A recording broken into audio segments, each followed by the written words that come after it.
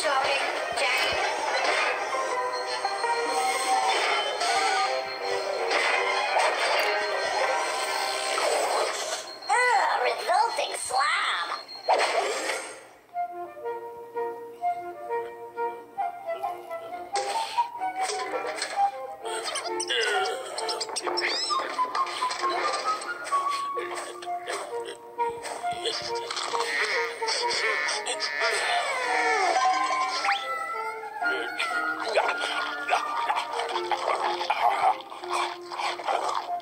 You know, we can learn a thing or two from even the most uh, peculiar people.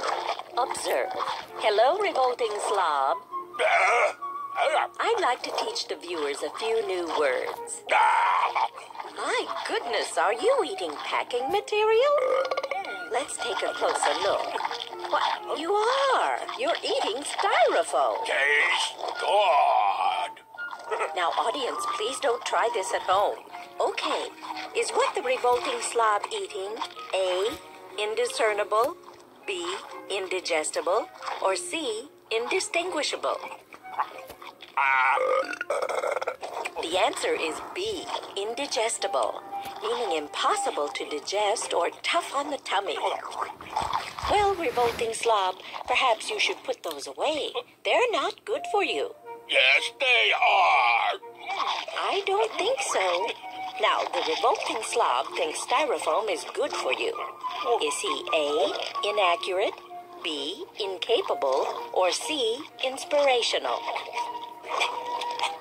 The correct answer is A, inaccurate, which means wrong, wrong, wrong. Those styrofoam pieces are terribly bad for you. More. Really, revolting slob, you've got to believe me. Those things are nasty. No, they're not. No, Yes? they're not. You're so insistent.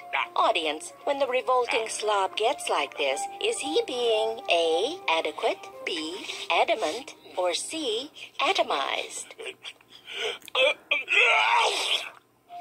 Bless you. The correct answer is adamant, which means stubborn as a mule. No. I rest my case. Shall we review?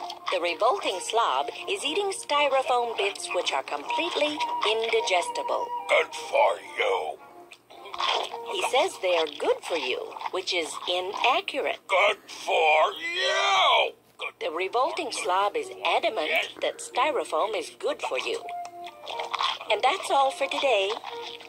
Thank you, revolting slob. Oh, and by the way, atomize means to be reduced to tiny particles.